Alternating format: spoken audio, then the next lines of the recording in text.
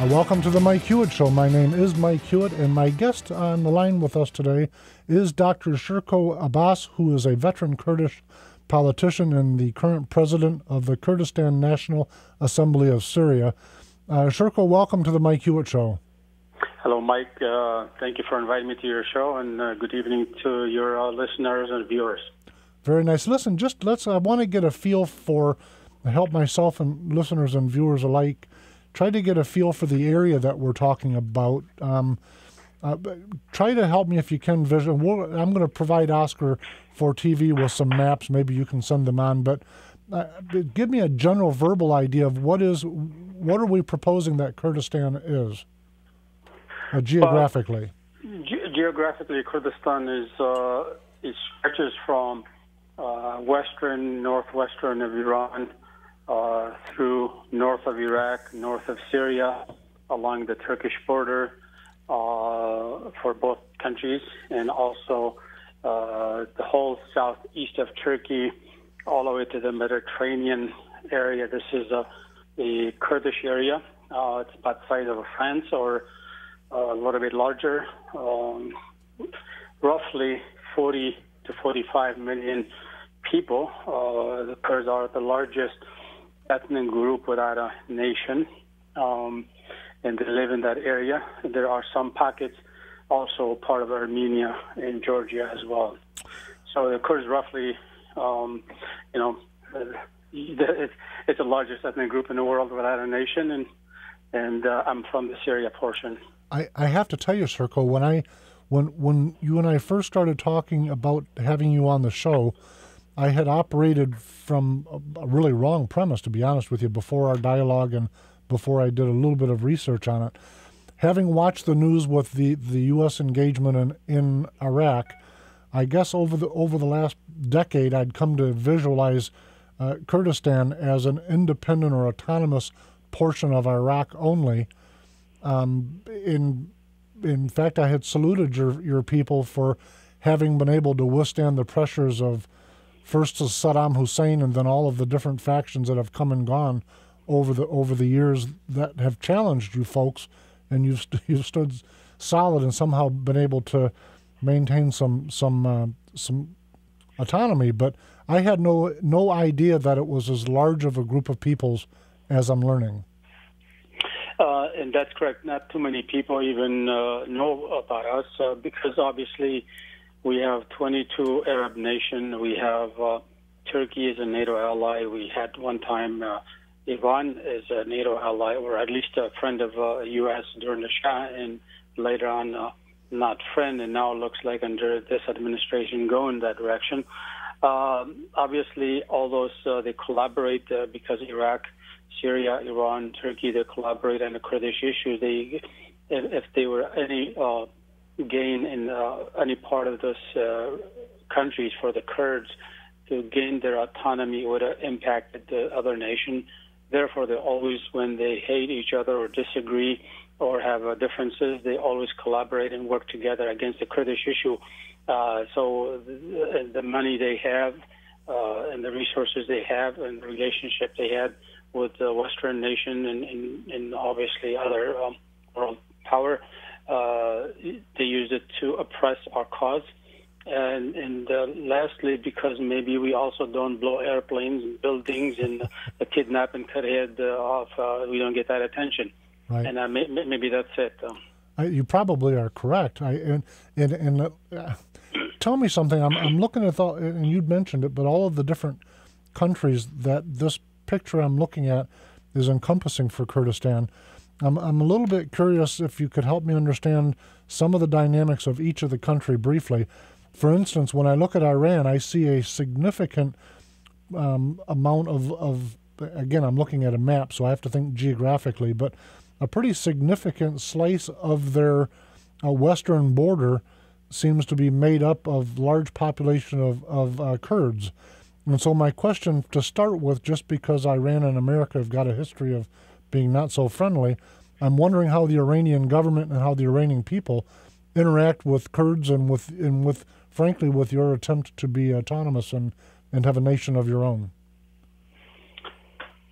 Um, obviously, the nation of Iran is not uh, happy uh, with any movement uh, in a direction where Kurds, if they can get a uh, autonomy or federalism or uh, maybe independence, uh, so they would lose a big chunk. In fact, if you were to go four to five hundred years back, or even um, a little bit further to 1250 during uh, Salahuddin uh, when he ruled uh, that uh, uh, Islam uh, era. He was a Kurd, the Kurdish area, almost from the Gulf, the the Persian Gulf area, and all the way up to Caspian Sea and Black Sea, and all the way to the Mediterranean, including Homs and Hama area. Uh, of Syria as well, and the whole North Syria and north of Iraq, very close to Baghdad. So it was much larger, but over the uh, Arabization policies in, in, Iraq and Syria, and also the policies of Shah uh, trying to, uh, well, actually, uh, the first Kurdish Republic in, in 45, 46 was uh, uh, created in there, and the Shah of Iran is basically um, captured the leader. he was a judge, uh, Qazi Muhammad, and, and, really cut his head off, or, or actually, sorry, hang him. Um, and there was an end of that uh, uh, republic, was the first Kurdish republic in the modern day after uh, collapse of Ottoman uh, Empire. So uh, uh, the, the interesting point, those areas, the Kurdish area, it has a lot of resources in terms of oil, breadbasket, uh, water resources, as well other minerals such as uh, um, like uh, iron and, and, and so on. Uh, so they they would not be happy uh, for losing that, but obviously that area has shrunk uh, over the years, and uh, but still you're looking minimum 12 to 14 million Kurds live in Iran, and then uh, north, at the very least north uh, northeast of uh, sorry northwest of Iran. tell me this um, is what. I'm looking at the, uh, still looking at the map. Is does Turkey tend to be more more friendly to you uh, to your people than the other the other uh, nations that encompass your your peoples? Um, obviously, uh, it's all relative. Um, has they uh, have they killed as much as Saddam Hussein, where uh, he approached hundreds of thousands of Kurds actually killed and and, and destroyed more than five thousand villages, uh, um, or Iran? I would say they're all in the same ballpark, but a lesser degree. There, there has been a, a change in the current government in Turkey where they're trying to reconcile that issue, but obviously it's a very um, uh, weak uh, in terms of what they're offering, uh, and, and, that's something uh, remains to be seen how much they're going to go in terms of whether autonomy or some kind of uh, uh, confederation, but it looks like there's some shift, uh, positive shift going on right now in Turkey. But to give you an idea, more than 30 to 40,000 Kurds were killed uh, in Turkey in the last uh, since 1980s until now. Uh, obviously, there's some peace negotiation with the government and some groups within Turkey. With that number of people that I'm uh, again, I don't want to ask naive questions, but I, am afraid I have to. With that number of people, you're talking about a Turkish military um, attack of Kurdish uh, of Kurds. Is that is that what we're saying?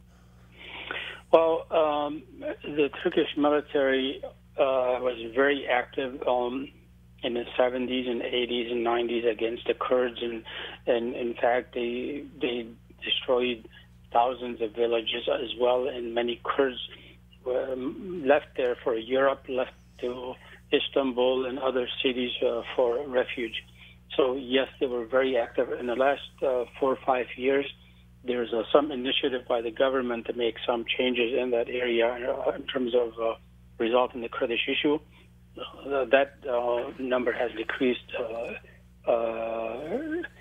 drastically, but we don't know where this is heading. in other words, um, it's not very clear how much of a democracy and how much of a change in peace because there are actors in there. Um, what I mean by actors, as uh, Turkey is trying to make some changes, there are some deep state within Turkish military. They need an enemy, and they need a group that they can fight to stay and keep their power. And I think uh, that's one point. The other point is Iran is using uh, the portion of uh, some of the Kurds in Iran, uh, in Turkey, uh, some group, Syria and, and Iran is using to put pressure on Turkey to back off on Syria policy or any policy that approaches uh, Iran as a territory or uh, infringes on his uh, on its uh, uh, I guess interest. So uh, there are some, including Russian as well. They're playing some of this card. how much of a peace it's going to happen? It depends how much the current administration in Turkey is willing to offer. That it will be. Um, leading to a more a peaceful and where the Kurds have uh, the rights. But I think within uh, 20 to 25, the Turks will be minority. The Kurds will be the majority in in, in Turkey. So uh, in that sense, they need to find a solution. Uh, whether they like it or not, they have to look at the, some solution for the Kurdish issues there. But we know Iran has been playing some uh, with Russia and uh, Syria to derail the process. Listen, I know you don't have the benefit of looking at the map I'm looking at, so I apologize. But just just for listeners and viewers, and please help me if if you could. I'm looking at an, an Ottoman Empire map that is circa 1914, and it shows the Ottoman Empire that appears to be all of Turkey, most of Syria, most of Iraq, up up into the edge of what became the Soviet Union. Uh, is this the is this the foundation country that most Kurds identify their heritage with? Uh, uh, yes, uh, that's correct. Uh, you know, you look at that map in like 1914. In fact, uh, the founder of modern day Turkey, Kemal Ataturk, approached the Kurds to gain strength, and later on used the Kurds and Armenian against each other by deploying a um, divide and conquer and weaken both and finally conquer in both. But during the negotiation, uh, uh, uh, when Allied forces uh, won over um, Ottoman Empire, he was able to manipulate the Sevres uh, Treaty and replace it with Lausanne Treaty, where the Kurdish name was removed completely. Initially, he wanted to create it's called Kurdish Turkish Republic or Brotherhood Republic or something in that nature. In other words, meaning the Kurds were first and Turks were second to de- develop a, in a new republic. Uh, but when he went, he said he's going in on, on the behalf of the Kurds and the Turks to uh, make this agreement. Apparently, um, uh, they had made a deal with the British and uh, French uh, to uh, remove the Kurdish name. Uh, any reference to the Kurdish name was not mentioned, and hence, since then, there was a Turkey was created. It, it looks just looking at I'm looking at a series of maps, kind of flipping through. It looks like the the the, the Kurds once upon a time, as you're saying, had a very large area, and then, then over the last hundred years have just been absolutely condensed and, for lack of better words, squished down into a much smaller smaller region. Is that is that that that's kind of correct? correct? That's correct assessment. There always been uh, attempt to change the demographic. Um, uh, as an example, in Syria, there was a, a 45 Arab settlement built among the Kurds along the Turkish border, brought in Arab from inner Syria to our area, and, and they revoked more than half a million Kurdish citizenship. Well, it's half a million plus now but it was less at the time, 162,000 in the 1960s, to make them illegal alien in their own country where they had deeds going back to Ottoman Empire. You know, some of them had like deeds 400 years uh, uh, that they had from Ottoman Empire, yet they made them illegal alien. Uh, so they were before creation of Syria. Uh, same thing in Iraq, same thing in Iran, and of course in Turkey as well. So there's attempt uh, were always made to uh, change the demographic, um, especially more under Ba'athist in Syria and Iraq. You know, through throughout the time that the United States has been engaged in the battles in Iraq, there has been periodic talk about the possibility or probability, um, or maybe even desirability to break up Iraq into, uh, depending on who's telling the story, three to four different countries. Is that something that, that your organization would support? Uh, could you uh, repeat the question because it looked like you were breaking up for a second. Oh, I, I apologize.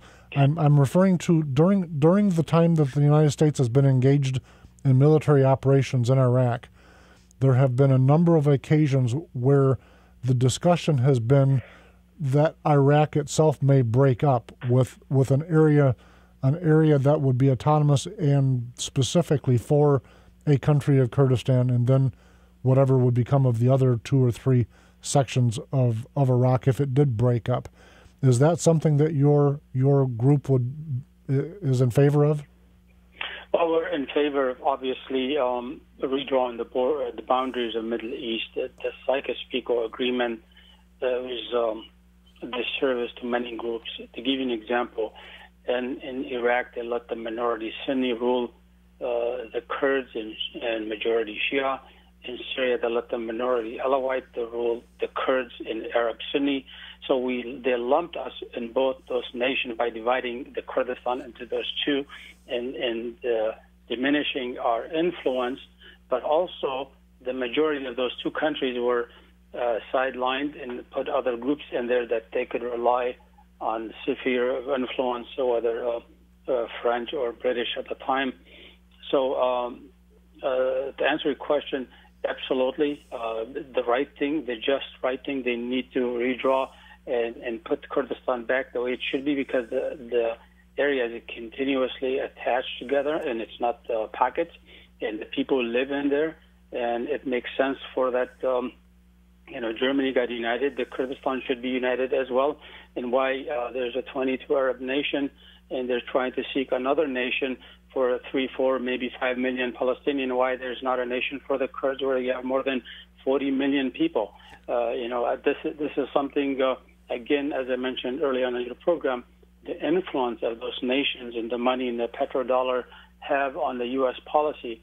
And frankly, U.S. been a a counterproductive on the Kurdish issue. In the past, it was a NATO as an uh, ally, but going back to uh, Shah of Iran, the Kurds work with America during um, uh, uh, Nixon and uh, Ford administration when was uh, when Kissinger was in uh, foreign uh, uh, what they call it Secretary of State uh, at the time, and the Kurds were abandoned to Saddam Hussein.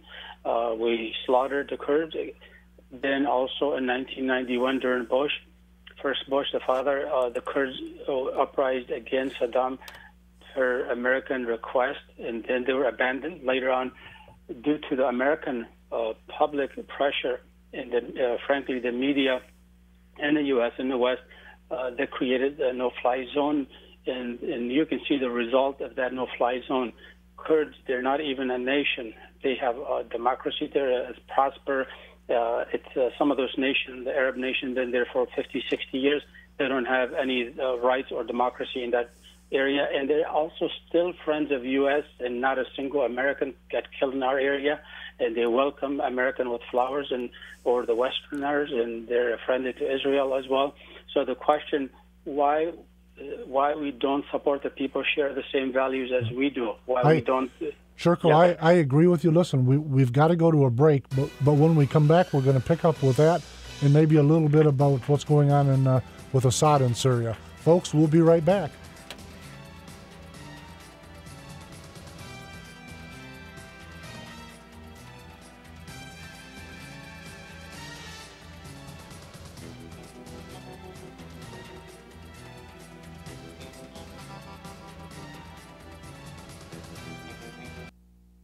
Are you one of the many Americans who undergo CPAP or BiPAP therapy? Replacing your supplies every three to six months is critical as bacteria will build up and worn out straps cause leaks.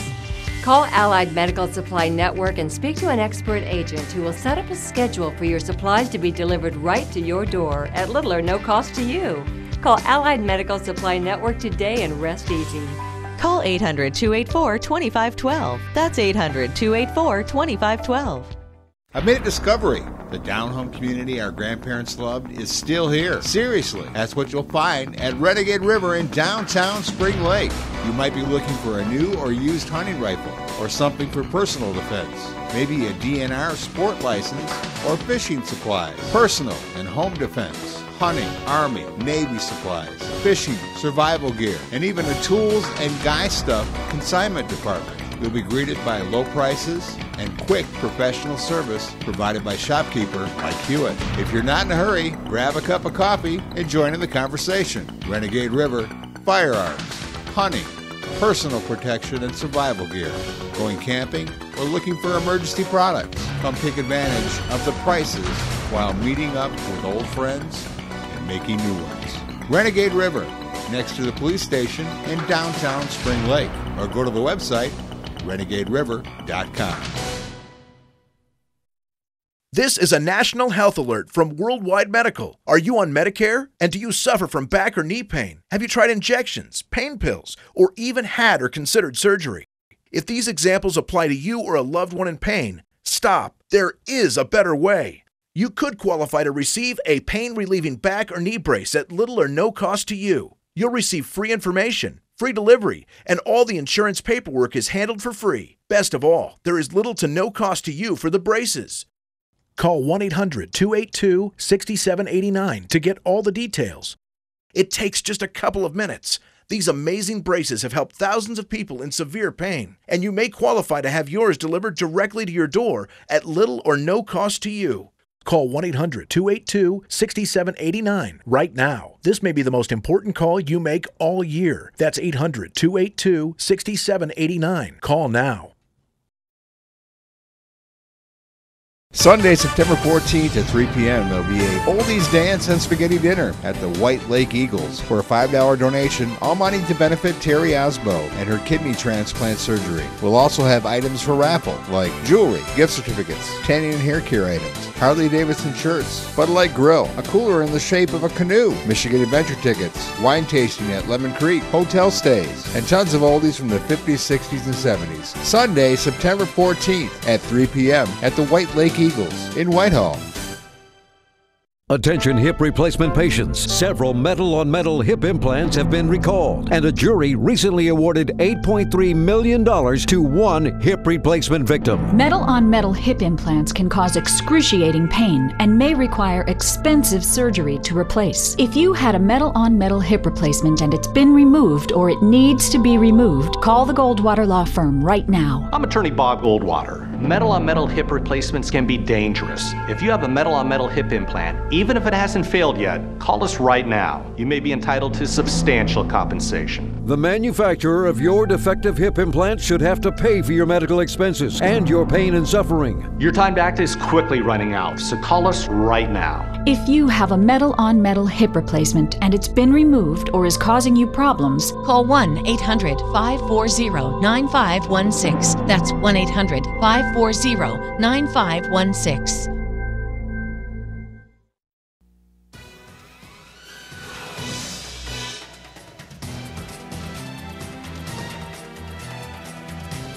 Welcome back to the Mike Hewitt Show. Uh, my guest today is Dr. Sherkoh uh, Abbas, who is the pres- um, president of the Kurdistan National Assembly of Syria. Uh, Sherkoh, welcome back. Thank you, Mike. Listen, I d- during our break you sent me a map, so that I so I got a. We're both looking at the same map now, and the differences were were, were very minimal between what I was looking at. So we're we're both on the same page. Um, what I wanted to what I wanted to see if we couldn't segue to is what impact what's going on. There's a, relatively a civil war in Syria, uh, with Assad is still in power. I, I want to get a feel for what your take of that circumstance is, and then of course how that is impacting the Kurdish population. Okay. Well, Assad obviously he's doing whatever it takes to survive. That means uh, not leaving uh, any building intact, and and he is uh, trying to do whatever it takes to uh, stay in power. That means killing hundreds of thousands. In fact, more than 200,000 people have been killed, uh, and maybe even more. Uh, they they are declared or missing. uh, or in jail, but nobody knows their fate uh, of those people. So that gives you an idea. You know, roughly close to a quarter million people been killed, and uh, more than six million people uh, internally displaced, and additional two and a half million people uh, displaced externally, and from that three quarter million Kurds were displaced. So, right there is impact on us is demographic changes because relatively our area is much uh, safer at the moment because Kurds did not uh, took sides. They tried to stay out of it because uh, we mentioned this uh, uh, going back from 2004 when the first major, uh, like a million folks who uprised in Syria, more than a million, most Kurds uprised in Syria against the regime of Assad in 2004. Unfortunately, nobody helped us at the time, and Assad killed 65 people, and, and thousands were injured. Uh, and uh, but at the time, he was fearful. They were uh, uh, uh, American were in Iraq, and Kurds of Iraq were gaining some leverage, and American had forced him out of Lebanon, uh, Assad, uh, and and basically uh, Bush reputation uh, being a promoting democracy and bringing uh, regime change in Iraq and liberating Iraqi. Frankly, we, we look at it as a liberation. Other people call it occupation. And we salute uh, uh, President Bush for his uh, work in Iraq. Um, but unfortunately, it was sh- short. So he was uh, nervous, uh, didn't kill millions or hundreds of thousands of people, but uh, agreed to resolve the Kurdish issue, which he never did. But to go back a little bit, a couple years down the road, uh, when beginning of the Syrian uh, uh, revolution started, the group, Democratic group in Kurds among them, and we met with the senior people from the White House, State Department, and Congress on these issues. Many of them, uh, frankly, on the Congress and Senate were positive. Uh, on the Senate, uh, as I mentioned, Congress were very positive. On the State Department and the White House were negative. They were pushing us in the direction to support group that we know they were Muslim Brotherhood groups, and we and they're Arab fascist, uh, and and we told them that, and they basically said, forget the Kurdish issue, bring a regime change in Syria, and we'll discuss later democracy. And this is uh, something uh, we could not take a risk. Uh, so the Kurds stayed on the sideline. We predicted to the State Department, to the uh, White House, that the, all the groups are Islamist and they're anti. Uh, they would be anti-Western, anti-value, and eventually could be worse than Assad because they were part of Assad. They're part of the same culture, same upbringing for 40, 50 years, and overnight they cannot be democratic. Therefore, we need a mechanism up front, and we need to have the Kurds become a major element or core of this opposition because we were organized. We've been doing it for many years, and we have uh, tolerance for others and we're not a pro-radical group as uh, those groups were being uh, supported. Unfortunately, U.S. government did not provide a single dollar, not even help or humanitarian to our area to this day. All that help goes into the radical group, and some of them, unfortunately, they captured Americans and, and they cut the Americans' um, uh, head off. This is uh, the administration continues to support those groups. And we've been saying that to them many, many times, and, and they still continue to deal with those type of radical group. Yeah, Sherkoh, so the, the, Sherkoh for, for a fellow like me, it's a little bit difficult to, to get my head around that. I'm reading the, the position statement that anyone can look at if they Google the Kurdistan National Assembly of Syria, and it discusses a position statement. Uh, uh, what what what you what you folks are advancing as a Syria free of the oppression of the dictatorial in Ba'athist regime, and then it lists. I, I I teased you a little bit off the air. It reads a little bit as if Thomas Jefferson wrote it, and so I'm I read that and I'm trying to understand what would cause a White House in America, uh, a, a, United States administration, to not support you. Now now listen. Let me be clear though. I tend to be a little bit of a non-interventionist. So on one hand, I, I guess I'm I'm slightly conflicted. On one hand, I think these are areas that we shouldn't risk our U.S. soldiers and treasury in. On the other hand, I think if we stand by and watch tens of thousands of people be slaughtered and we do nothing when we could have done something, then I feel we're just as guilty. Uh, especially with a group of folks that is that's calling for uh, essentially how I'm interpreting this. Your folks are calling for a, a federal system of government that gives uh, local sovereignty to different different ethnicities and religions. I mean, like I say, it reads like Thomas Jefferson wrote it, and so it just it's so foreign to me that our United States government is not doing something to support uh, what you folks are calling for in a region that desperately needs exactly what you're calling for. Uh, it's an interesting question because I posed that question when I was told uh, to join the Syrian National Coalition and Syrian National Council. In other words, the Kurds should support that, put all their weight and work with the Syrian opposition. And we clearly told them this is a supported by Qatar, by Saudi, petrodollars, Gulf, and by Turkey. And obviously, those groups are Islamist, radical, and uh, in uh, times they make Al Qaeda uh, like moderate. So you need to look at that. If you think Al Qaeda is is, uh, is terrible, these guys um, you haven't seen it. And the answer we, we got, you need to do a regime change. The democracy will come in and forget the federalism because nobody will buy the federalism in that region. And my uh, uh, questions is why is federalism good for you, American, and it's not good for somebody else. Uh, and uh, unless you really don't believe in that. And uh, he smiled, the senior uh, advisor to the uh, White House, and he kind of smiled. He said, "Well, my suggestion, you guys, if you want to get any assistance or help, uh, to do that." Uh, since then, uh, they've been very restrictive in, in, not allowing our people to come for visas or to, to, present our case to the Congress. They make an every effort to make it difficult for us. I think the only reason, as I mentioned earlier, again, uh, the money that pour in from Arab nation, that they want to keep the Kurds at bay and not have their country because they know the Kurdistan was split, given part chunk of it to Turkey, to Iran, to Iraq, to Syria if there's a, a gain in that area, there will be a democracy. Having 30, 40 million people where um, uh, majority are Muslim Kurd, where they say we cannot fight people of the book, whether being Christian or Jews.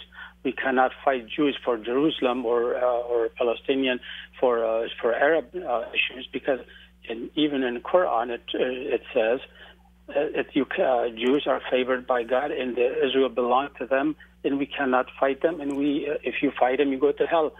So this is our upbringing in Islam. Of a Kurdish Islam is moderate. It promotes, in, in, fact, Salah ad-Din was the first one allowed all the Jewish and millions to return to Jerusalem. So they don't want this. Arab wants to use Islam, and they use their perverted uh, way of Islam and interpret and control and, and, and, and uh, promote the radicalism in that area. So the influence they have, the dollar they have, uh, the petrodollars they have on this administration.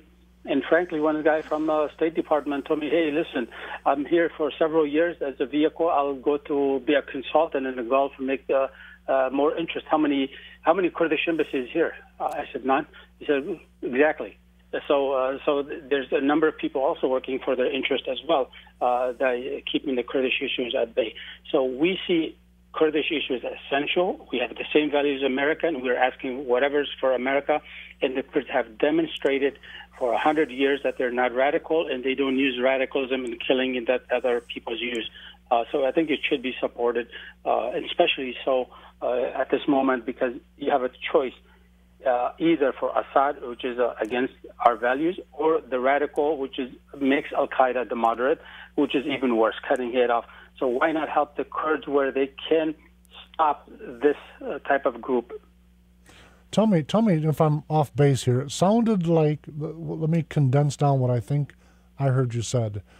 Say it sounded like you're telling me that you were told by senior senior members of the White House that um, two points. A, that your people are not ready for democracy, and B, money is more important than doing what's right. Is that kind of what I got out of that? Uh, the, the, B, the B was uh, uh, yes, and uh, I guess the A, it's not your people not ready. it's basically uh, this is what it's going to be. In other words, Uh, without explaining, meaning this is not the area where where democracy matters. Basically, it comes down to the same thing, which is all one issue, which is the money and influence that those nations have on this administration. What what is the primary? And I I've read a little bit today, Sherkoh, so you have to bear with me. But tell me what if if we look at the the Kurdish people, what's the primary religion? I know there's a bunch of religions, but what's the primary religion of the Kurdish people? Well, um, the, the, primary one is uh, uh, Islam. Uh, if you look at the Kurds, probably 93, 94 percent, maybe 90 percent uh, uh, Muslim.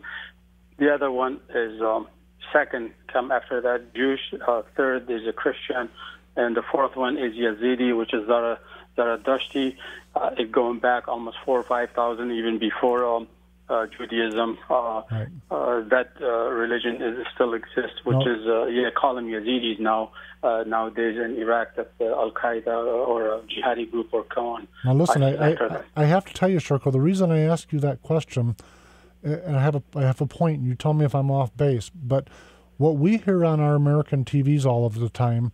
Uh, as it as it relates to Islam in in from our talking heads on TV, from our leaders in Washington, D.C., is that we need to hear from moderate Islamists, moderate Muslims to stand up and tell the extremists that they're wrong.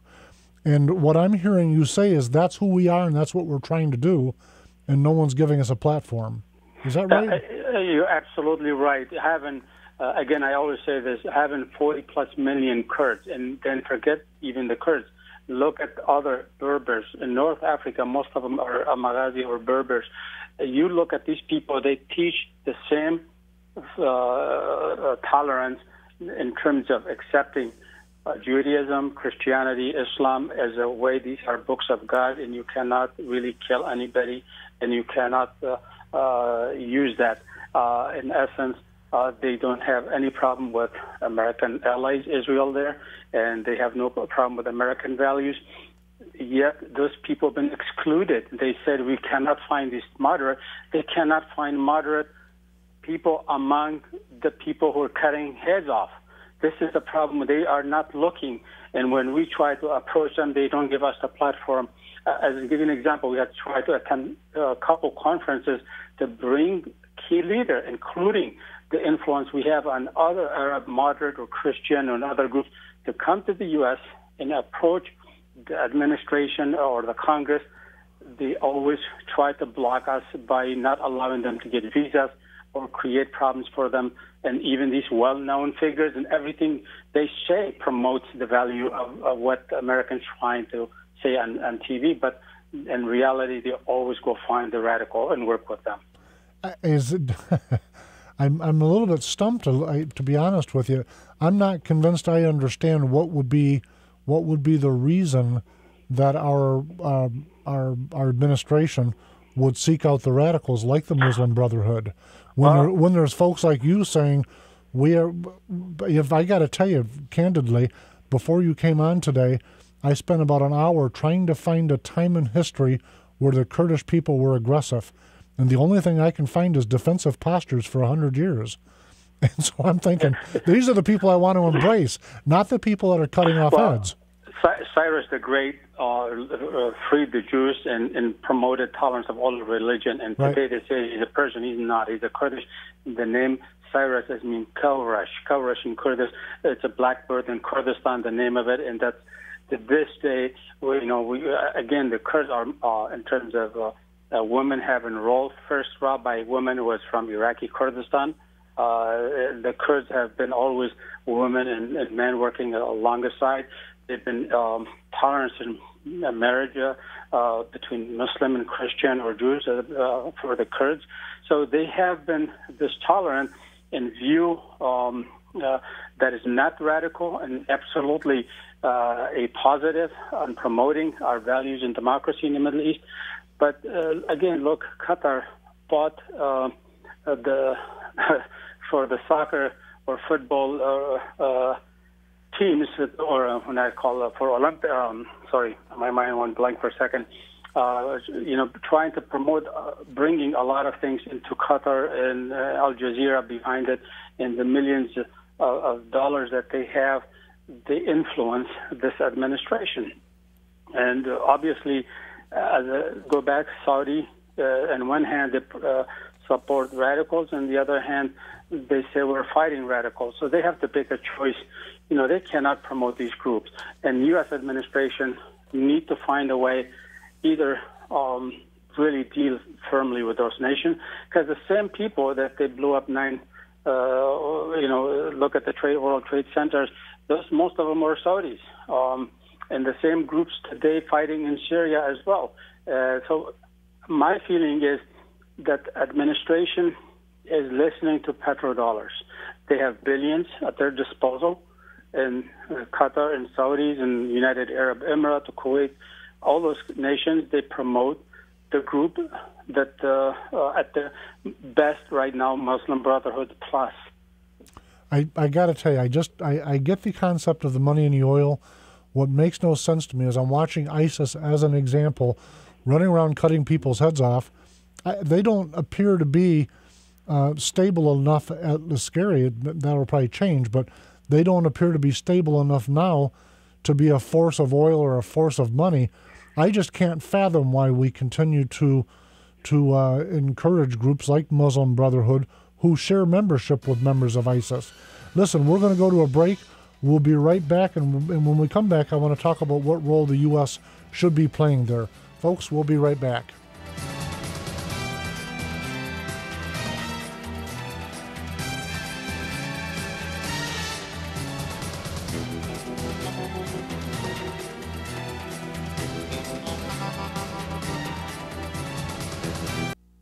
Sunday, September 14th at 3 p.m., there'll be a oldies dance and spaghetti dinner at the White Lake Eagles. For a $5 donation, all money to benefit Terry Asbo and her kidney transplant surgery. We'll also have items for raffle, like jewelry, gift certificates, tanning and hair care items, Harley Davidson shirts, Bud Light Grill, a cooler in the shape of a canoe, Michigan Adventure tickets, wine tasting at Lemon Creek, hotel stays, and tons of oldies from the 50s, 60s, and 70s. Sunday, September 14th at 3 p.m. at the White Lake Eagles in Whitehall.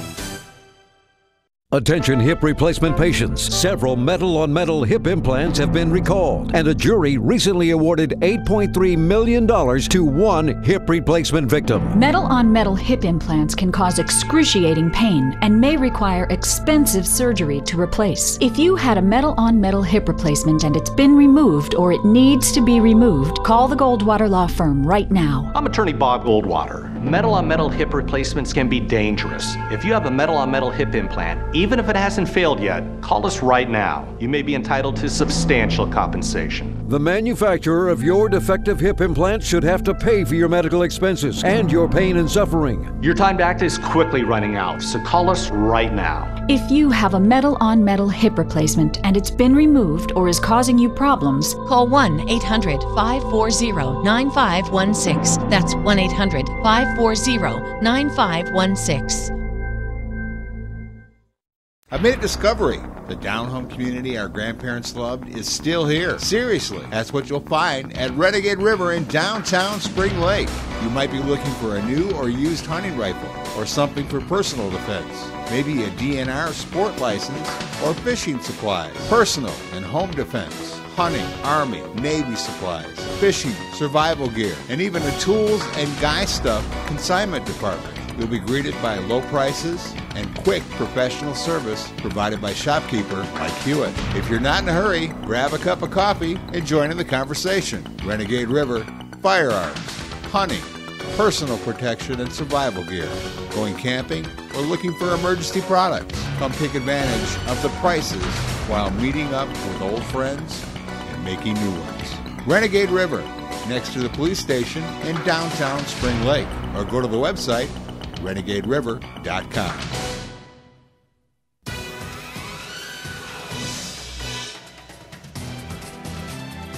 Uh, welcome back to the Mike Hewitt Show with my guest today, Dr. Sherkoh Abbas, who is the president of the Kurdistan National Assembly of Syria. Uh, Sherkoh, welcome back. Thank you. Um, what I wanted to do is spend our spend our last segment um, on trying to get a view of what the U.S. role should be. But before I get to that, I, I want to ask you a couple questions. I'm reading an article dated today's date um, um, uh, from World News, I think it is. Uh, the enemy of my enemy, and then it says the I- Iran arms Kurds and fight against ISIS. You've been following this, I'm guessing. Uh, obviously, Iran is uh, trying to play it uh, smart by uh, showing to the world that ISIS, uh, uh, they're against ISIS and they're moderate, and therefore, obviously, they want to help the Kurds up because, frankly, all the help that you see on the media that we're helping, we're doing airstrike, all those I would categorize it as a help to show that we're doing something. It's not a real help. I see. Uh, make believe help. So it's it's like window dressing. It's just window dressing. Absolutely. Uh, if they have not given a very heavy weapon to the Kurds, uh, the ISIS had the most sophisticated American weapon, where the Iraqi army left behind, and the Kurds. Uh, uh, some of the weapons they have uh, that go back to 70s and 80s or whatever was left from uh, 1991 when Saddam left that area since then, very minimum weapon going to the Kurds. Most of the weapon, uh, it is uh, went to the Iraqi army. American did not give to the Kurds from 2005.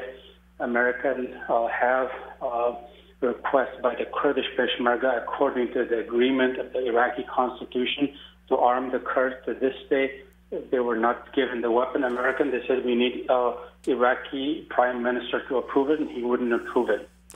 Tell me this then: if be, given the resources that are in the general region, we we discussed a little bit about what the, the U.S. what what what the White House's agenda seems to be, but I'm curious where Russia plays into this. Has Russia got an eye an eye on some of those resources also? Absolutely, but I want to add one point. What is ISIS?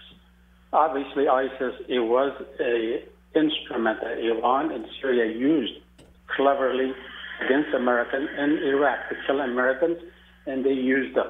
Now, uh, most of those guys have absolutely uh, no interest in Islam. Those groups, Assad unleashed them uh, to basically send a message to the world alternative is worse. Basically, ISIS was under control of Assad until just a couple months ago. In Syria, in fact, uh, the Hasaka region, the Kurdish region, in uh, Aleppo, Afrin area is still under Assad. There are some, ISIS is not a one group, there are many groups. So um, majority of them were under the leadership of Iran and Assad. It was used to portray the, the international community the alternative is a terrible thing, and here what they're doing, and two, to scare the Kurds and Christian to stick at least not uprise against Assad and to keep himself look uh, better. So that's what really ISIS uh, was. However, um, a lot of help from Saudi given to Ba'athist in Iraq, Izzat Duri, one of the Saddam's strong guys, that American couldn't capture him uh, uh, several months ago, where he basically, uh, the disgruntled Sunnis that they were uh, in Iraq and Syria started to also join that. So it grew up. If you categorize the whole ISIS, not even 10,000 people, but what happened, many of those were well armed, had a lot of money, and well organized, but also because states were behind them. Iran, Russia, Syria were behind some of these groups. Again, it was all to send the message you want to change Assad, this is what you'll get. I think uh, I, th- I, think their miscalculation was they've not read history because uh, the, the Kurds, I'm sure aware, are some fierce yeah. fighters. Yeah, exactly. and, and so so this is what happened. Uh, uh, in essence, now things are getting out of control. Who's going to win? What's going to happen? We don't know. But American obviously need to really decide not help Assad and not help peace. And I think the best option is to help the Kurds and let minorities at least have a safe haven.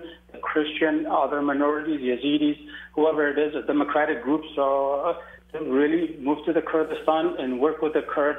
And this is the only way to root these guys out. But we cannot keep Iran uh, uh, in Syria and in Russia out of this because they have some hands in there, either directly or indirectly. But at the very least, uh, for sure, Assad had hands. And uh, to give you an example, in Hasaka, Abu Ali, he used to be in charge of uh, intelligence, and he's an Alawite leading a Sunni so-called group. So it doesn't make sense. So the only thing you can think of it is they used it to suddenly you, show, you show something worse than what he was to make him look better, positive to the world, and uh, to stop the support and have the world community go against uh, or help them against these people. And, and it looks like they're slowly uh, American thinking about doing something, but again, the red line is going to shift and shift. Yeah, uh, nobody knows. Maybe pro- we'll stop stop in uh, Delaware somewhere. President Obama is very good at drawing red lines. He reminds me a little bit of of uh, Muammar Gaddafi with the with the endless red lines. Cross this, okay. Cross this, okay. Uh, but but what I just just to re I want to make sure I interpreted what you told me. You're saying that most of the groups that make up ISIS were born of either Syrian or Iranian state money and assets. Absolutely, and, they used it very well in Iraq against American, uh, and then only when Iraqi uh, the surge in Iraq, uh, bringing Iraqi Sunnis they crushed it, and and also threat to Assad that he basically pulled out when American decided to leave. Then he pulled them, put them all in prison, and then he unleashed them uh, after the revolution just to make everybody look. Um, uh, show the world what is alternative. It's does has it gotten to the point now? I'm assuming it has, where ISIS has become powerful enough and independent minded enough that they're no longer interested in what Syria or Iran are telling them to do? Well, obviously, uh, if, if there was all one group, uh, again, there's uh, probably more than 30 to 40 organizations and groups, and there's many people that also went from uh, Saudi or Gulf countries, uh, from around the world, from Europe, from U.S., that the uh, hardcore believer went to the aid of these. So there are some groups behind the scenes, still Iran and Syria's hand, and there but eventually, uh, obviously, it will get out of control. And some groups are, are uh, completely against those uh, nations now, against those regimes now. Yeah, absolutely.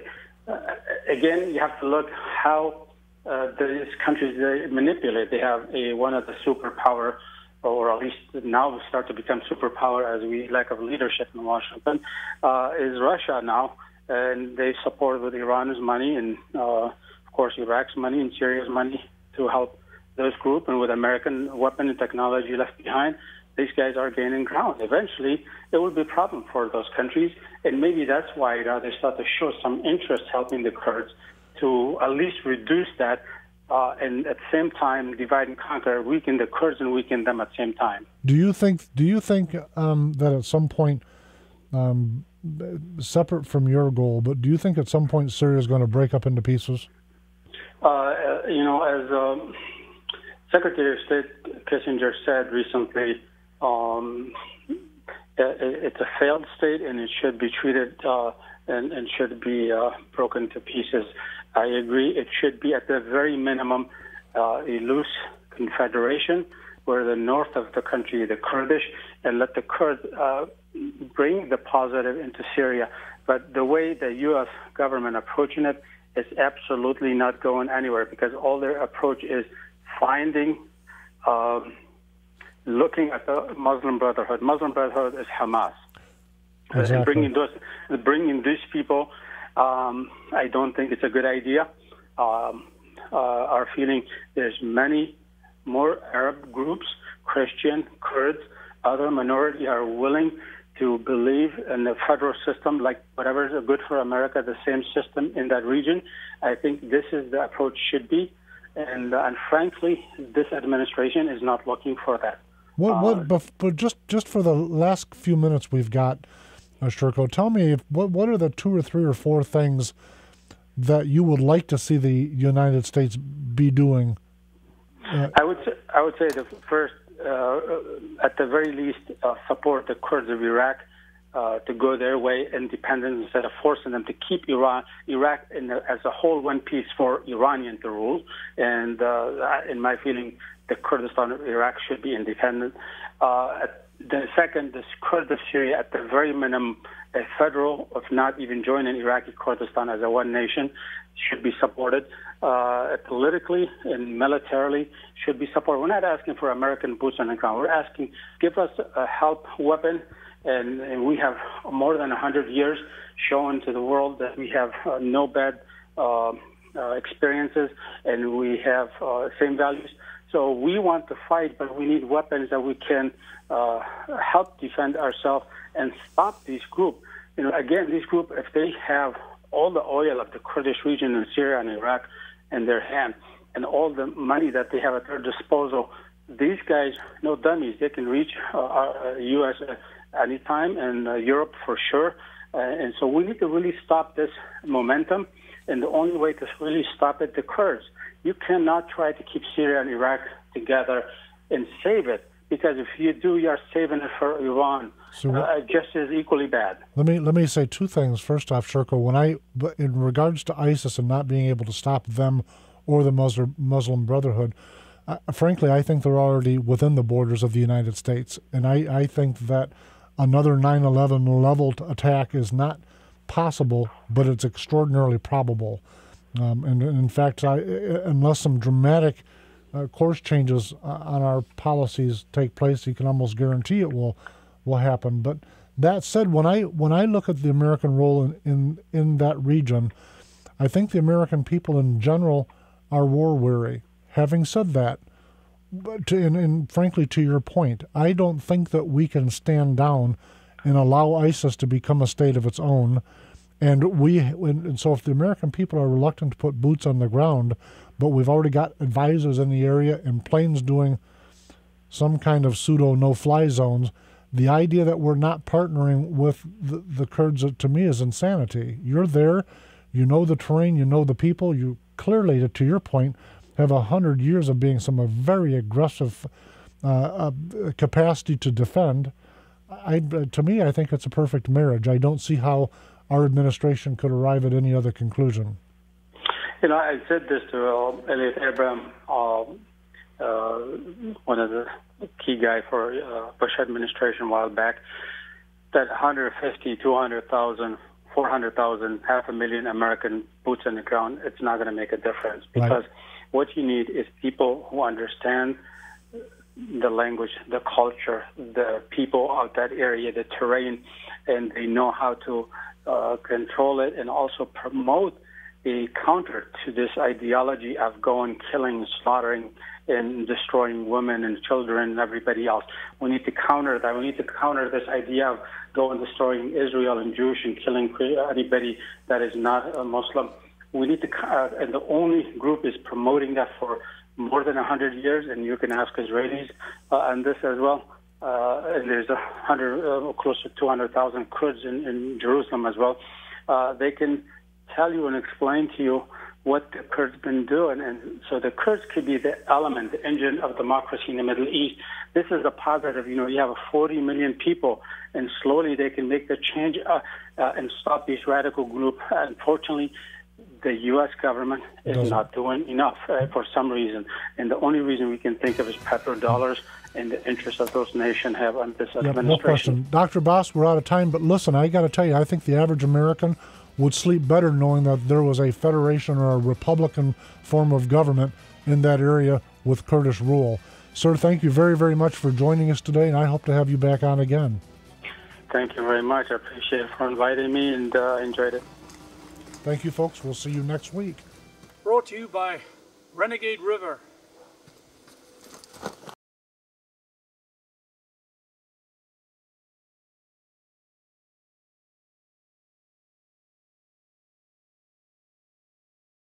I've made a discovery. The down home community our grandparents loved is still here. Seriously, that's what you'll find at Renegade River in downtown Spring Lake. You might be looking for a new or used hunting rifle or something for personal defense. Maybe a DNR sport license or fishing supplies, personal and home defense hunting, army, navy supplies, fishing, survival gear, and even a tools and guy stuff consignment department. You'll be greeted by low prices, and quick professional service provided by shopkeeper Mike Hewitt. If you're not in a hurry, grab a cup of coffee and join in the conversation. Renegade River, firearms, hunting, personal protection and survival gear, going camping, or looking for emergency products. Come take advantage of the prices while meeting up with old friends and making new ones. Renegade River, next to the police station in downtown Spring Lake, or go to the website renegaderiver.com.